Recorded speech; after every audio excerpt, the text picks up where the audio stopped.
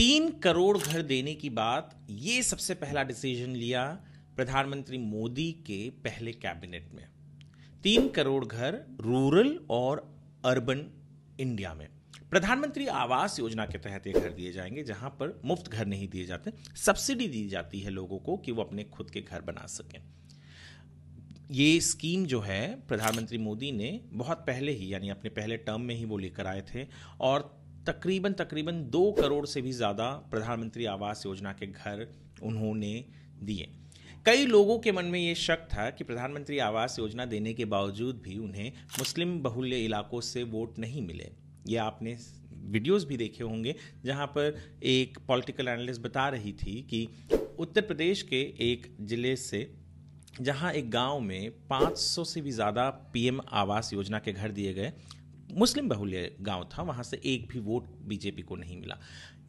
पर फिर भी जब भारतीय जनता पार्टी जीत कर आई और अब उन्होंने निर्णय लिया सबसे पहला तो वो तीन करोड़ घर भारत के हर एक गरीब व्यक्ति के लिए, हर एक गरीब इंसान के लिए बनाने का निर्णय लिया है।